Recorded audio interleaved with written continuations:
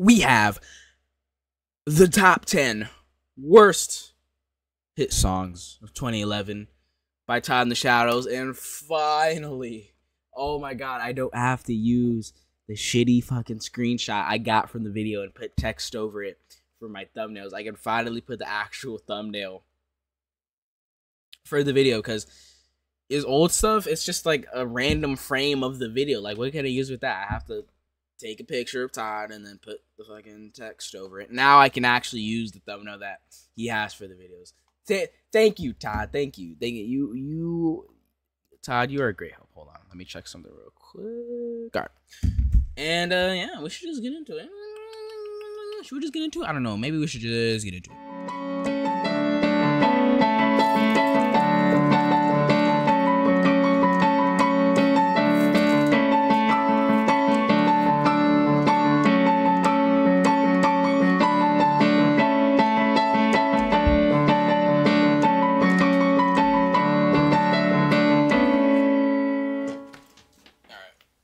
It's that time again. Yes, folks, it's that time of year when I plow through Billboard's top 100 songs of the year and pick out the 10 most awful, most unworthy, most detestable songs that pop music has to offer. Yay. Now, I did a list like this two years ago, but last year I forgoed. For. forgoed? Forwent? Forwent?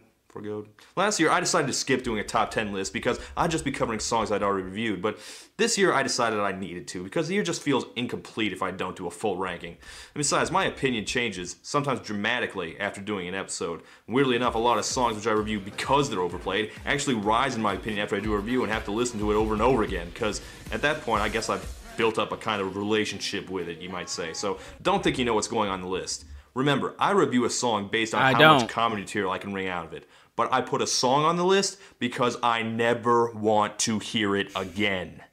And once I finish this list, I am never listening to any of these. So let's give a nice, All right, bet. solid kick in the ass goodbye to the top Whoa, 10 whoa, whoa, whoa, worst whoa. We are on YouTube. of 2011. Yo, Kesha, you're wildin'. Number 10. Okay.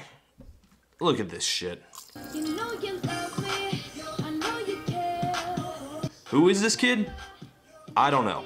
But apparently he is way more popular making stupid videos on the internet than I will ever ever be. Clearly I'm doing something wrong. But I bring him up because You know this kid might be older than me. This list, I found out that one of the songs on here may have been crazy a to hit think about. entirely because of him. Yeah. Bro. It was crazy back then because you could low key be fucking ugly and then link sync, lip sync a fucking song. Okay, okay, whoa, whoa, whoa, whoa, whoa, whoa, whoa, whoa, whoa. Okay, wait, hold on, hold on. Wait a minute, hold on, back up. I'm not saying the kid is ugly, okay? I, I mean, look at me. I mean, you know, you know, I am saying the kid is ugly. You know why? Because I'm allowed to say that. You know why? Because I'm an ugly bastard myself, so I can relate. But like, it's crazy how the internet back it was so easy. Not not really easy to go viral, but it was really dumb how like people would get viral. Like like I'm saying, like that kid's lip syncing, like you just lip sync, you know, you just links. That's kind of how it is nowadays too. Actually, wait, I just realized. Wait a minute. Oh my goodness. I just had an epiphany. Bro, okay, so that kid, he got popular and he, you know, probably did all these bunch of things and then he fell off the face of the earth. Well, that's how it is nowadays too. You go on TikTok and you see a bunch of beautiful, beautiful women and men lip syncing to a song with tens and millions of views. It's the same thing. We as a species have not evolved. Oh my goodness. How have I just realized this? Oh my goodness. Okay, you're gonna have to follow with me here. Apparently, this lip syncing little bobblehead is so popular that he got invited to make a video for some talk show. And he did, and then this happened. Ooh, oh my god, 50 Cent is there, lip syncing with him, oh my god. Everything I've read suggests that this moment is what made this song popular, and As far as I can tell, that must be true because the lip sync video has like twice as many hits as the actual video, and also because this song sucks. Uh, saying hits like you already know you you already know the age of that person if they say hits let's be honest Well, my first thought is that Saying you hits can add instead of views is the crazy. moron who brought you birthday sex, to the growing list of one-hit wonders who technically have a second hit. The much bigger name on this track is that mush-mouthed dullard himself, 50 Cent. And yeah, 50 Cent's monotonous flow match well with this utterly monotonous song. System thumping, party jumping, shorty, she's a perfect 10. She rock her hips and roll her hips and drop it down like it's nothing. Whoa, tone it down, Fitty. No need to ham it up. I feel like I this could video? take this song, chop it up into 100 different segments, and put it back together in random order, and I wouldn't be able to tell the difference in any real way. Oh, except for this part, I guess. Put it down on me. Yes, I will put it down on you, Mr. Chipmunk. So sexual, incredible, she beautiful, she was that was that the Now, Fitty chipmunk says the song was only hit because that of his help. kanye west You song know what? I doubt it. The fact is, 50 that song hasn't called? been relevant since he released that first album. What was it called? Get Rich and Stop Trying? Something like that. No, it was that kid. okay that was that was actually funny We regular internet morons are finding out that we have power. And some of us are using that power in horrible ways. I envision some dark days ahead for us.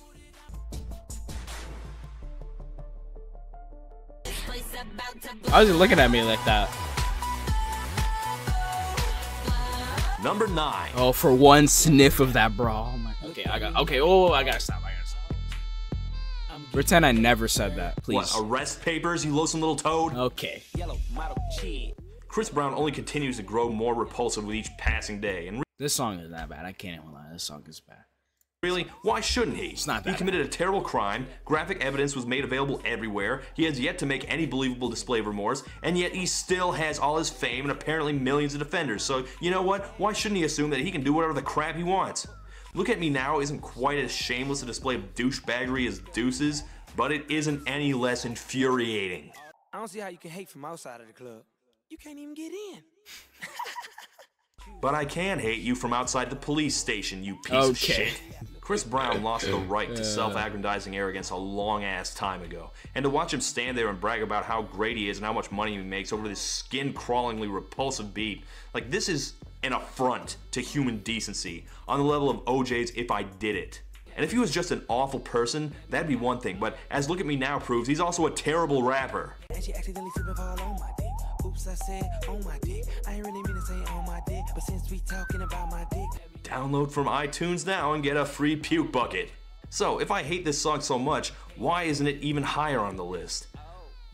Well, Yo, Breezy, let me show you how to keep the dice rolling when you're doing that thing over there, homie. Cause I'm feeling like I'm running and I'm feeling like I gotta yeah this is a crazy Busta, fucking verse why? Every time I come, a nigga gotta set it, then I gotta go, and then I gotta get it, then I gotta blow, and then I gotta shut it. Any little Why do you keep rescuing the songs of the worst artists? thing about a boom, about a bing, I gotta do a lot of things to make it clearer to a couple niggas that I always win, and then I gotta get it again and again and again. And I be Busta's verse on this song is like hearing a Nickelback song suddenly launch into a shredding Van Halen guitar solo.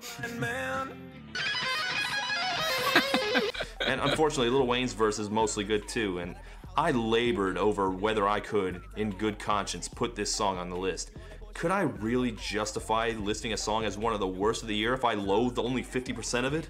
is that right? I'm fresher than a moth. Yes. Yes, I can. While we're talking about your dick, Chris, go eat a dick. oh this shitty ass game bro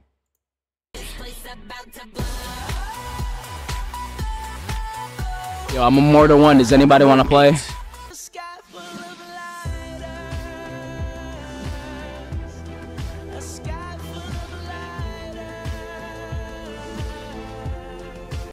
While we're at it, might as well throw number seven on there too.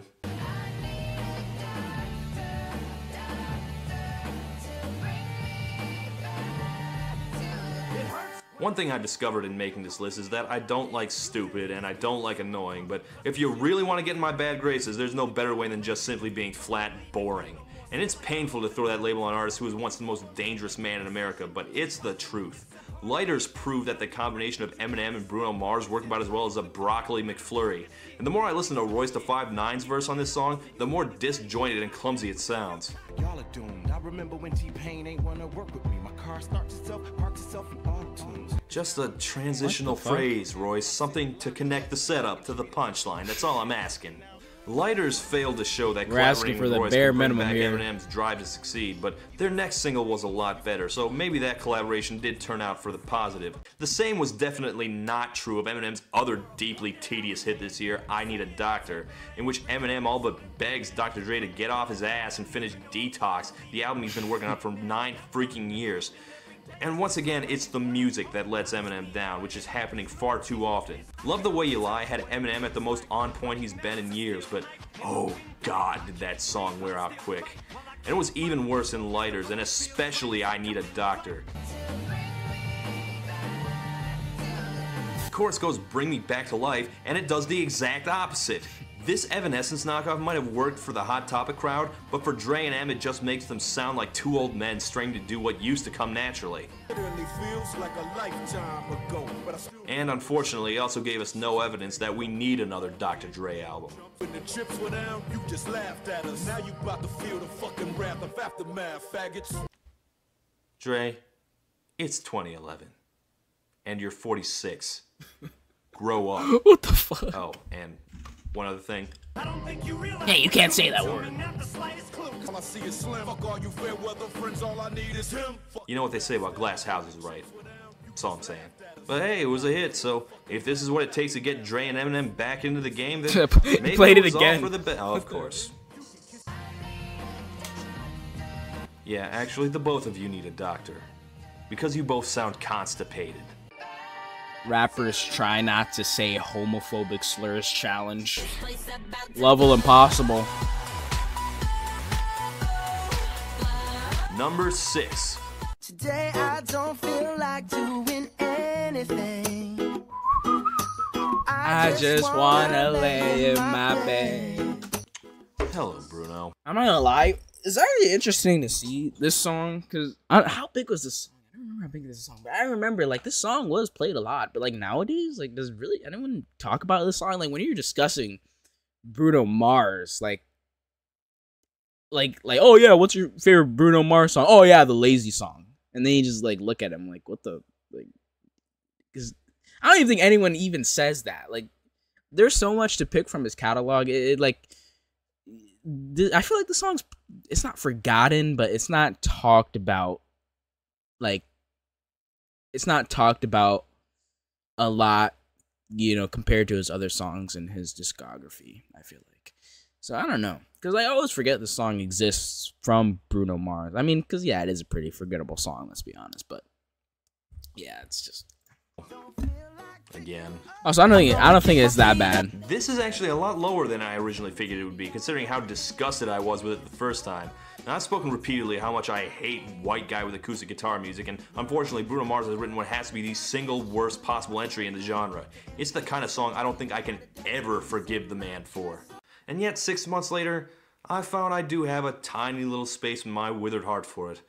Because let's face it, no matter how much I hate the song, and I do, there is a part of me that does like doing nothing all day. There's a part of me that sits around my boxers watching TV. There's a part of me that makes rehash videos about songs I've already talked about. And when I'm indulging my indolent hedonism, it's this song, for good and for bad, that plays in my head. The lazy song fills a hole that was missing in the pop culture universe. We needed something like this. I guess what I'm saying is that I support a lazy song, though definitely not the lazy song, because I still feel the need to punch Bruno Mars right in the nose every time I hear it, so don't get me wrong or anything.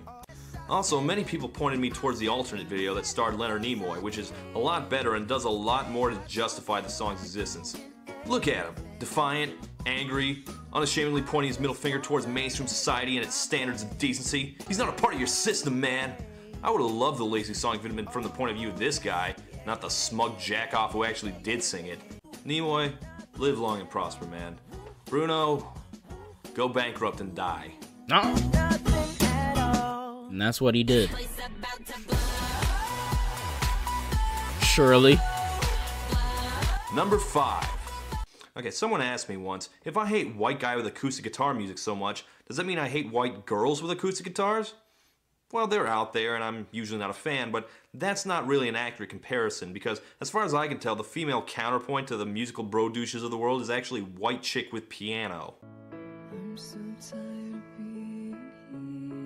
Yeah, let me make it clear that obviously not every white chick with a piano is necessarily bad, just like not every guy performing solo with his guitar is bad. And also that I realize that your average frat guy wouldn't seem to have much in common with the wannabe Sarah McLachlans of the world. But what the worst of them have in common, and it's this exact thing that I'm really objecting to when I get right down to it, is that kind of dreary, shallow, artless pretentiousness that lacks the talent or creativity to justify it. And I don't think I ever saw so much shallowness try to pass itself off as depth as I did with Christina Perri. And who do you think you are? Running around the This is the uh the thousand miles. Is that thousand miles? Tearing love apart. I went Christina Perri has been a constant, waiting for pain in my life for roughly the Darling, year. don't the kind of thing be you don't afraid. realize is causing you so much grief until you realize how long it's been there. It honestly just makes me kind of angry, the same way the success of Twilight makes me angry. I mean, there's so many intelligent, talented songwriters out there, but meanwhile, we handed success to this clumsy amateur garbage. It's about a breakup. Of course it is.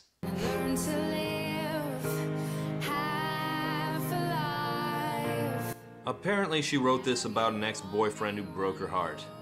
I'm guessing not the only song she wrote about it either. I wrote 63 songs this year. They're all about Joe, and I'm going to play every single one of them tonight. You're gonna catch a cold from the ice inside your soul. Burn. Like I, I said before, I'm not a fan of Beyonce and her inhuman air of superiority, but she has more expertise in dissing an asshole than Christina Perri will ever realize even exists. I can You get crucified for saying that today. He'll be here in a minute.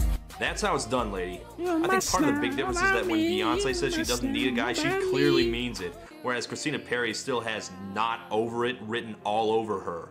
But I have grown too strong The fuck is this video?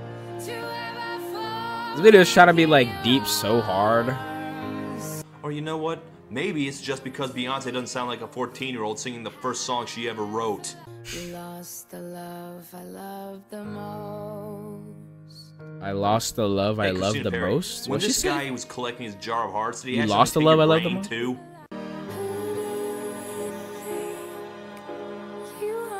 You made the song about that guy? All that for that dude? You can find 10 of those at fucking Number four. These are the black Hot Topic peas, type shit. and I finally killed them. My fellow Americans. Our long Fergian nightmare is finally over. I hope. Dirty bit.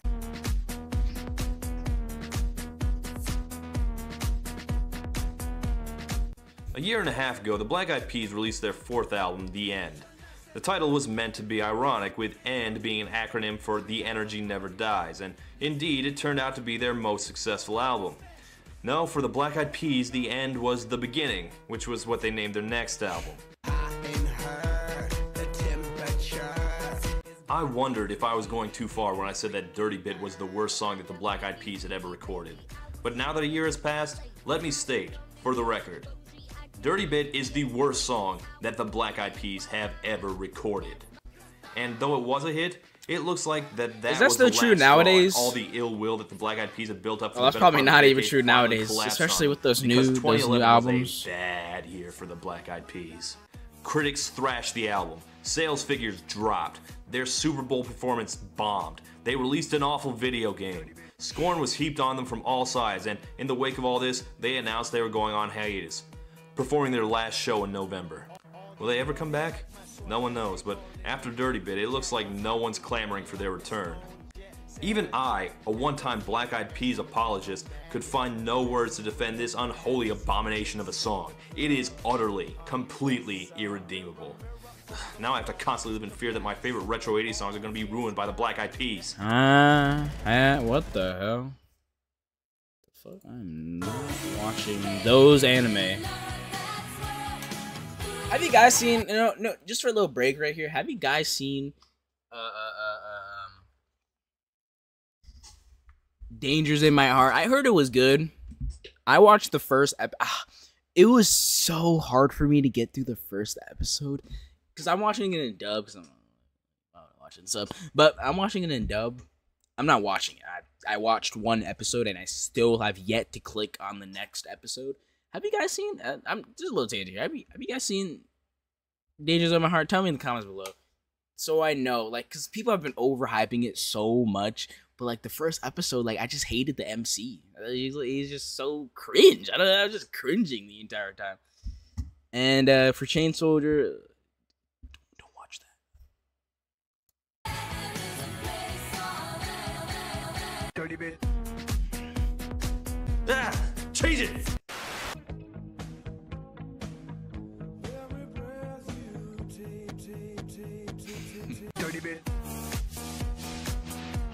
No.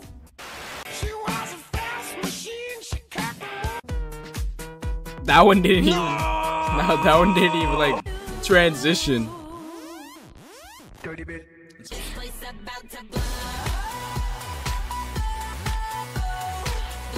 Number three. Well, like I said, a lot of songs actually start to sound better once I've done a review of them. Some of them do not. Only one actively got worse. I'm sexy and I know it.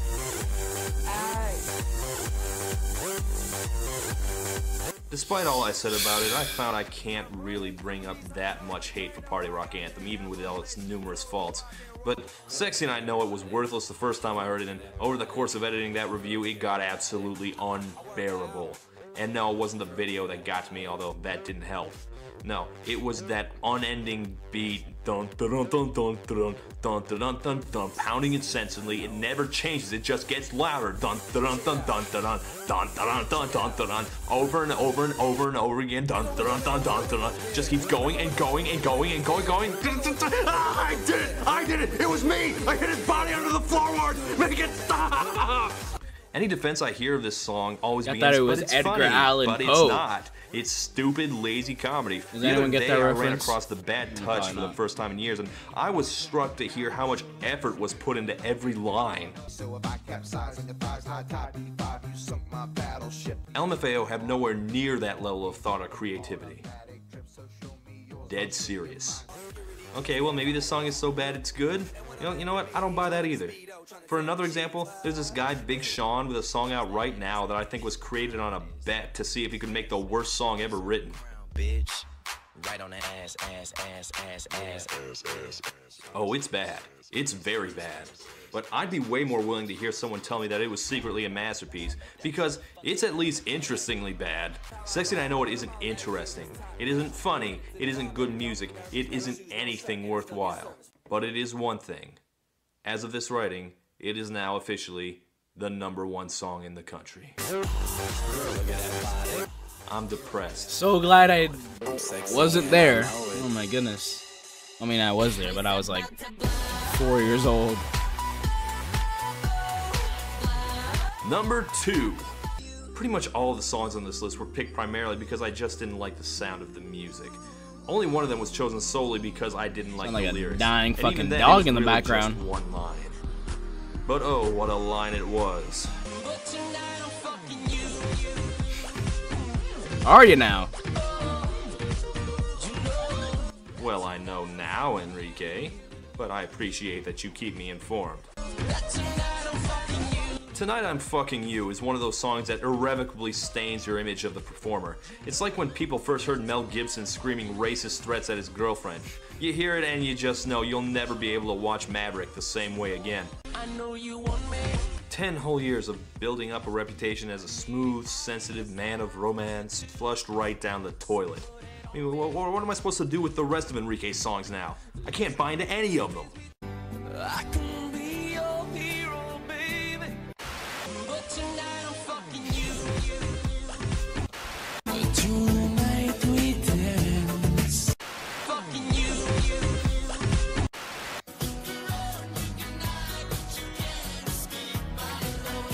Actually, that one sounds exactly the same to me. I would not be surprised if somewhere down the road Enrique finds himself regretting the day that this song became a success. I mean, when you're 50, is this the legacy you want? I mean, hell, he might regret it now. I note that he hasn't had another hit since this song came out. I'm sensing some buyer's remorse among Enrique's diehard fans. I mean, isn't that always the way, ladies? He seemed like a nice guy at first, but once you got to know him, he turned out to be a real asshole. Sorry.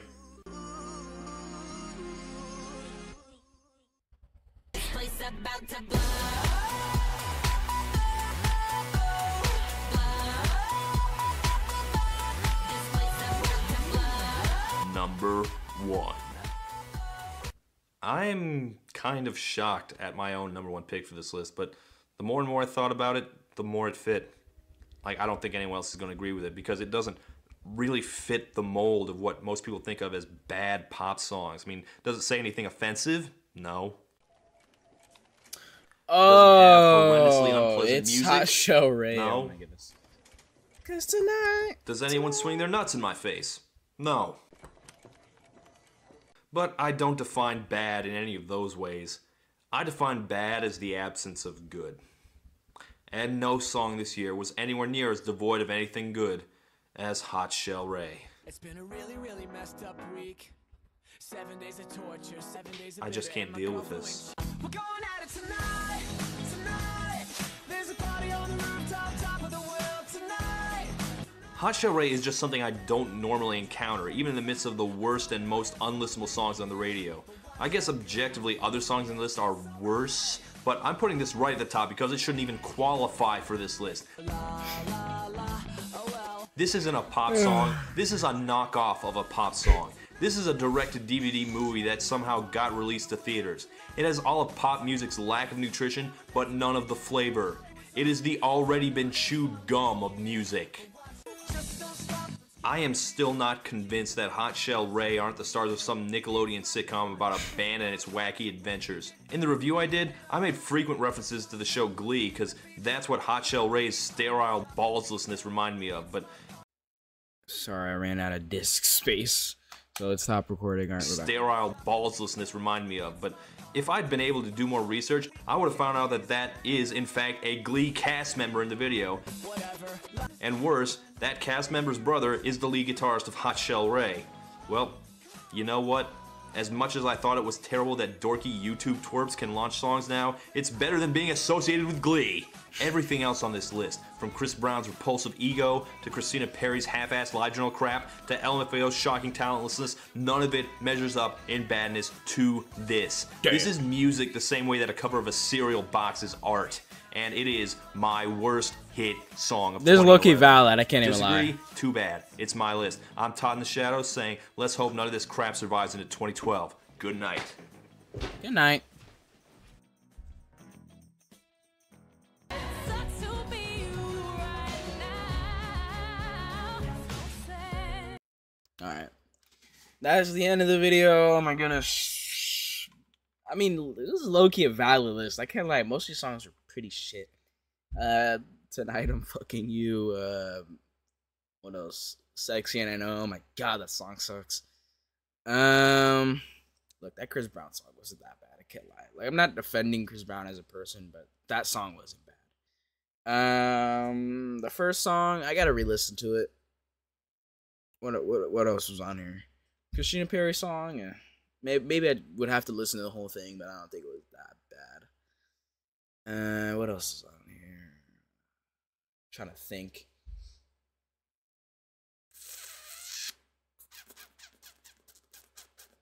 That's all. I, I can't remember the rest on here. Um, I'm so tired.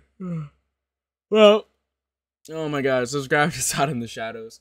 Um, go support him on Patreon. Go follow him on Twitter, and uh, subscribe to me if you want to. Um, I hope you enjoyed watching this video, and uh, yeah, goodbye. I love you. Thank you for watching.